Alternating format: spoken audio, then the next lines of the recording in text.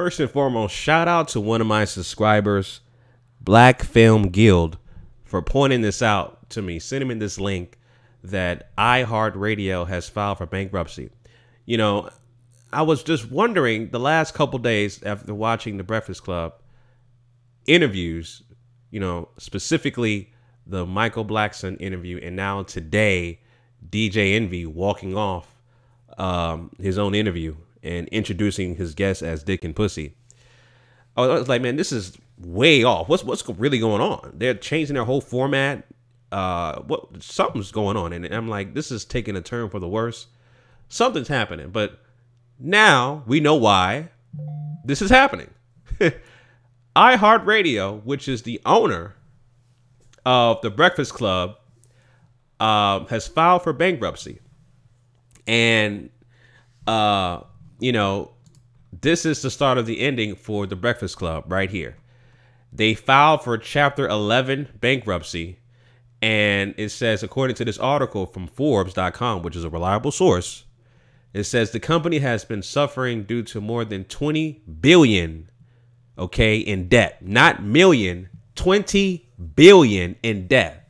That load, which has been crippling the entertainment giant for a decade, is a result of a 2008 leveraged buyout that also saw the company rebrand into a conglomerate the world knows now. Okay? So 20 billion in debt.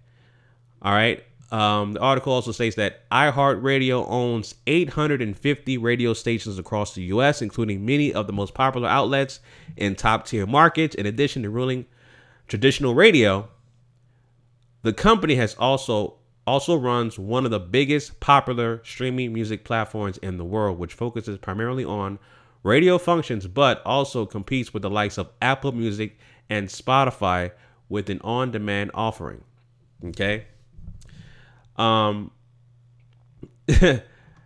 this is again, I didn't know about this. Shout out to my subscriber for sending me sending me this information. But twenty billion dollars in debt. yeah, uh, that is a whole lot of money. It's not 20 million, it's 20 billion with the B. And like I said, this is definitely the start of the ending of the Breakfast Club as well as the 850 radio stations that iHeartRadio owns.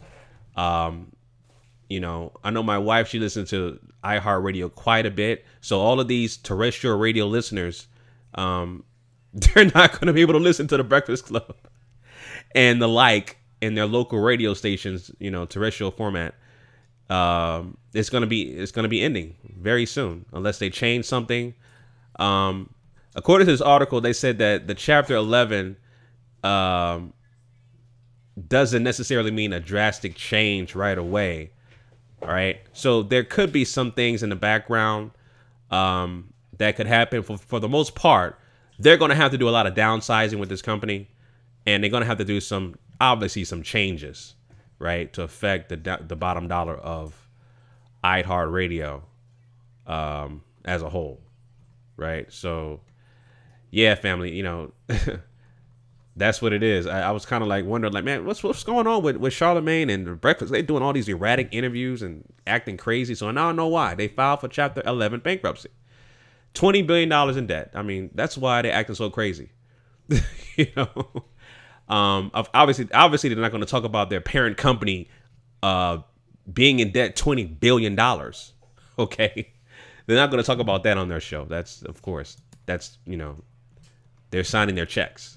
You know, but uh, yeah, family, those are my thoughts on that. Uh, leave your comments down below.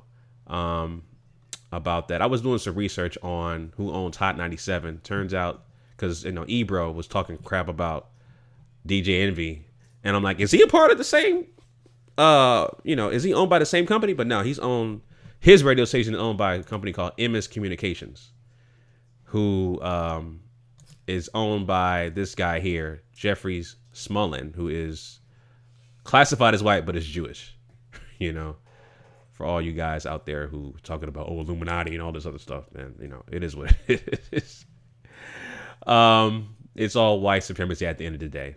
That's what I'm basically saying. So, But anyway, those are my thoughts on that family. Leave your comments down below about iHeartRadio and uh, do you guys actually listen to it? Everything. Listen, when I watch The Breakfast Club, and also, I mean, before I end the video, that's the importance of black ownership, um, owning our own infrastructure in all nine areas of activity economics, education, entertainment, labor law, politics, religion, sex, and more. I've been talking about that since day one. Black ownership, what we need to get back down to, right? Owning our own media. That's very, very important. Okay? So, stuff like this happening, $20 billion in, in debt. Um, you know, that's a white owned company that DJ Envy, Angela Yee, and Charlemagne the God work for. That's who signs their checks, you know, at the end of the day. So, you know, it is what it is. But anyway, leave your thoughts down below about this, about this uh, bankruptcy family. Uh, let me know your thoughts down below in the comment section. If you're new to the channel, please subscribe and hit that bell notification icon for all my latest and greatest content. If you've been rocking me, if you've been rocking with me for a while, thank you for continuing the support. All right, family. Until next time, Chauncey, aka the Black Separatist, signing out.